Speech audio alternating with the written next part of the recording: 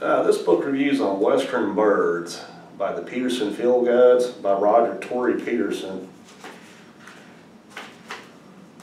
It's a third edition put out by the National Audubon Society. Houghton Mifflin Company.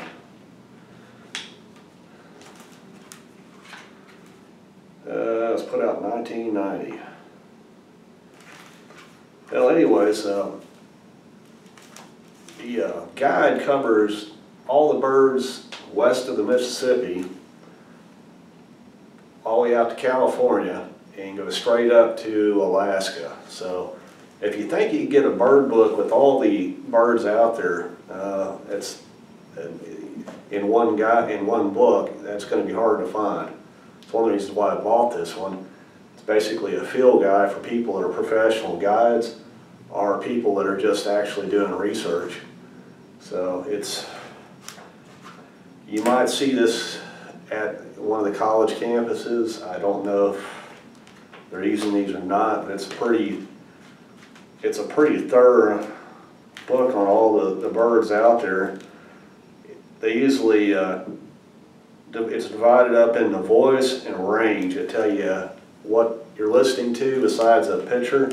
You get a color picture of it, but you're also getting uh, what its range is, and that tells you where they migrate. That's important too, because if you're doing tours and stuff, you don't want to send people out to a uh, area of the country when they're not going to be out there. So, you know, these kind of books can go with you and you don't, you know, you want to make sure that the birds are going to be out there if you're doing a tour or you're just uh, on a vacation. You know, a lot of people buy these for vacation and, you know, um, have to have a good set of uh, uh, binoculars. I got these at a garage sale, you know, just strap them on like so and don't, you know, you got your binoculars and you got your uh, bird guide with you and so you're ready to go. You know, it doesn't take a whole lot. Then basic survival gear, I have a uh, plastic raincoat. You can stick one in your pocket. and You get them at the dollar store. They're just little plastic uh, raincoat that you can just stick in your pocket and then have some kind of food. It's important to be able to keep the rain off you because you can get hypothermia depending on how fast the water is is flowing from, I, I almost died of hypothermia when in, in July and it was 90 degrees outside but a heavy storm came up and I was on my motorcycle and it just the constant water I was out actually taking a driving test for my motorcycle license. And just within about 15 minutes a heavy downpour and the uh, officer that was doing the uh, thing said hey you, you know this is fine. You could see I was breathing real heavy and stuff. Let's go back in and you pass. But you know, I was already going into hypothermia, it was already 90 degrees, but it depends on how much rain is pouring down on you and stripping uh, heat off your body. So don't think because it's 90 degrees outside that you don't have to worry about hypothermia. And when you're doing, going up in the mountains and stuff, you want to make sure that you just have at least a plastic rain poncho that'll keep the rain off you.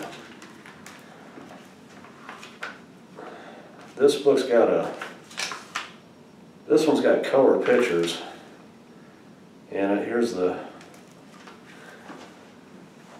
here's it's all divided up into duck-like birds, seabirds, long-legged wading birds, fowl-like birds, birds of prey, non-passerine land birds, passerine birds, accidentals. Accidentals are a new, are a product of uh, crossbreeding uh, through natural selection.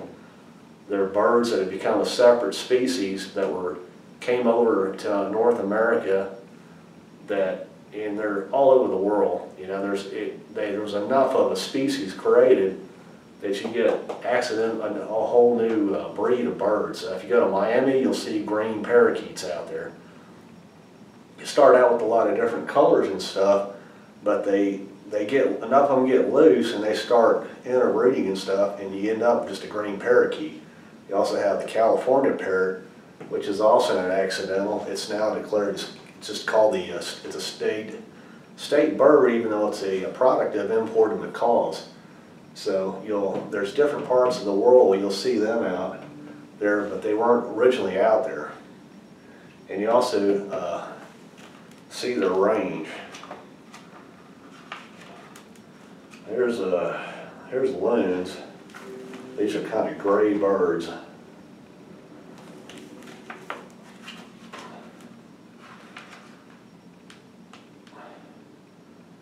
Gravies, gravies kind of look like wood ducks.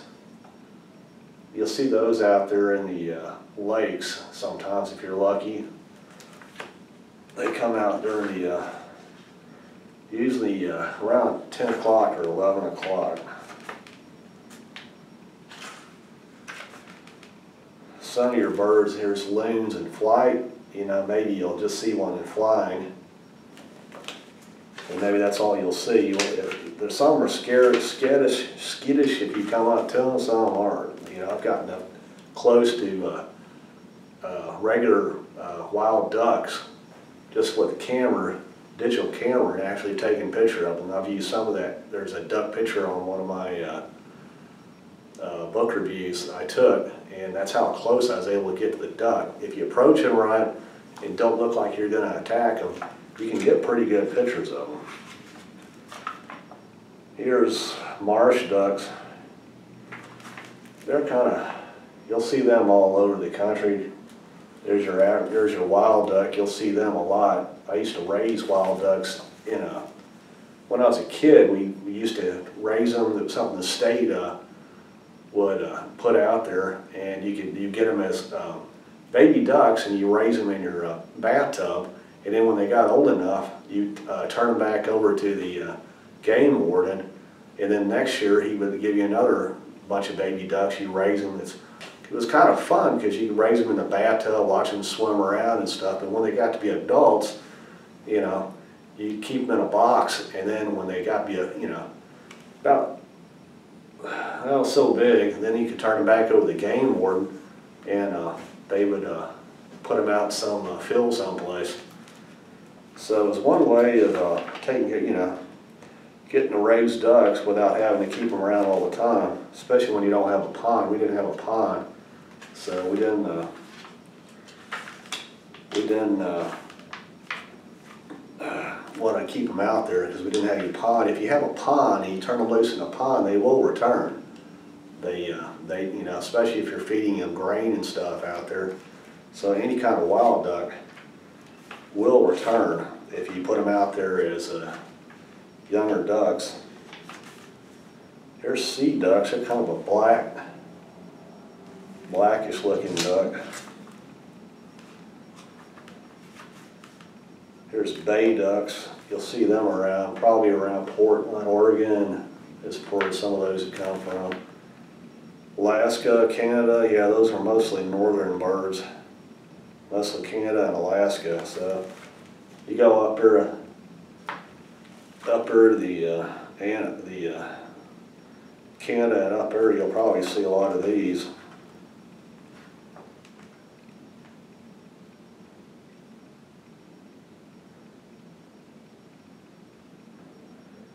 Here's a miscellaneous waterfowl. Um, they're associated with Asia for some reason, and they've actually uh, ended up in Canada and Alaska.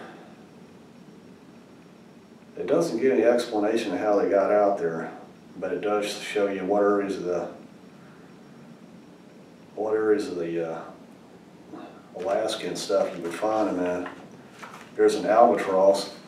They've had problems with albatrosses because planes do crash into them, and also condors. Condors are the largest bird in North America, and it's they've had them crash through uh, pilots' shields and kill the pilot, knock him unconscious, and cause a uh, plane to crash or whatever.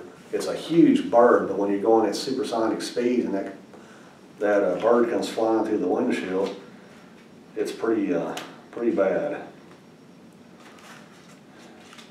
Here's your seagulls, here's the pelicans.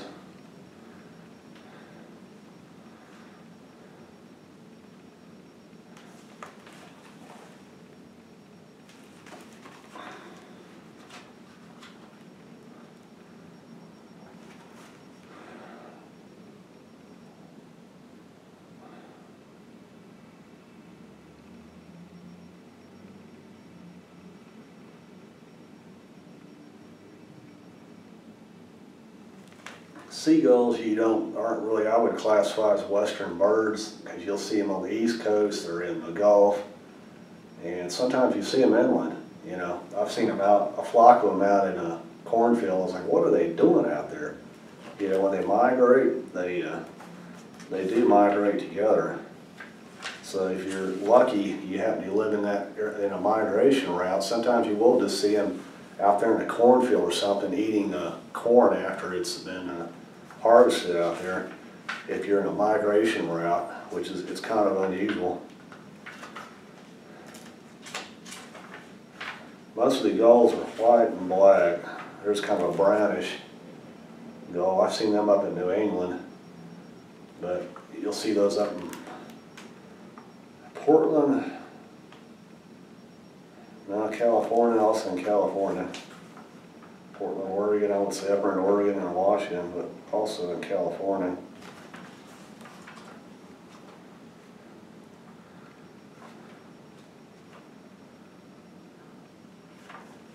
These are kind of neat birds, Alaskan shorebirds. They got real long beaks and real long spiny legs. They're kind of like egrets, where the part of the country where I live at. Um, but you get long, real long legs.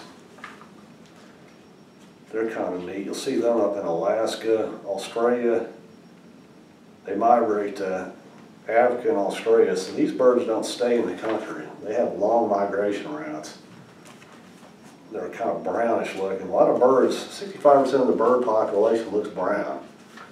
You know, you only get about the other 45% is actually, or 30% is actually real colorful birds. Most of them are either gray or brown. You know, they're, uh,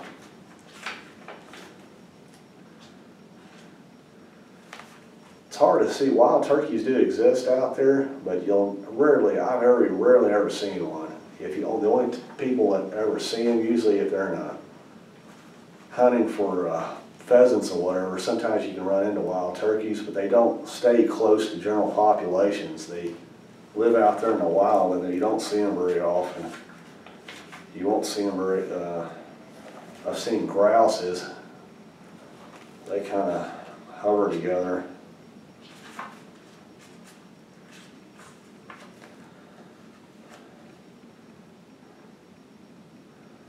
So you got vultures in here. I mean, this is a bird book. It's not the most attractive bird in around, but it's it is listed in here. So you're getting a full bird book. Not all the attractive birds, just some birds that are you'll come across out there.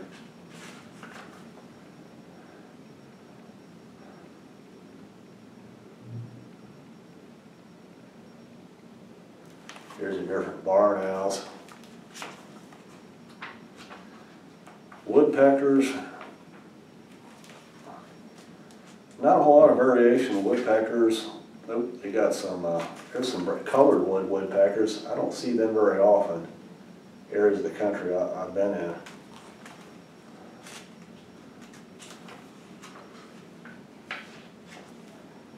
Now those you see in winters in Mexico and they come up here to British Columbia, California, Alaska is listed, Baja California.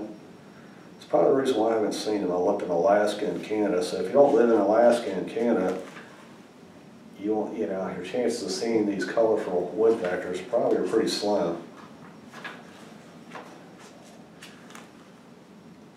There's a bird everybody sees all the time, robins. They're pretty, pretty uh, thorough out there.